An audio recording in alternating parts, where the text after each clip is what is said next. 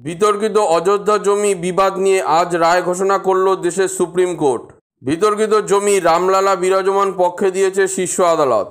তারই সঙ্গে সুন্নি ওয়াকাব বোর্ডকে পাঁচ একর জমি প্রদানে আদেশ দিয়েছে সুপ্রিম কোর্ট মসজিদ নির্মাণের জন্য। এই রায় ঘোষণার পর প্রধানমন্ত্রী নরেন্দ্র মোদী, স্বরাষ্ট্রমন্ত্রী অমিত শাহ, কংগ্রেস নেত্রী প্রিয়াঙ্কা গান্ধী সহ দেশের অনেক বিখ্যাত মানুষই তাদের প্রতিক্রিয়া জানিয়েছেন। প্রধানমন্ত্রী নরেন্দ্র মোদী, সুপ্রিম কোর্ট রায় দিয়েছে এই রায় কারও জয় বা পরাজয় হিসেবে দেখা উচিত নয়। রাম ভক্তি হোক বা রহিম ভক্তি, ভারত ভক্তির চেতনা জোরদার করার জন্য এটি অপরিহার্য। আমি সকল দেশবাসীকে শান্তি, সম্প্রীতি এবং ঐক্য বজায় রাখতে আবেদন করছি। স্বরাষ্ট্রমন্ত্রী অমিত শাহ, আমি সর্বসম্মতিক্রমে শ্রীরাম জন্মভূমি নিয়ে সুপ্রিম কোর্টের রায়কে স্বাগত জানাই।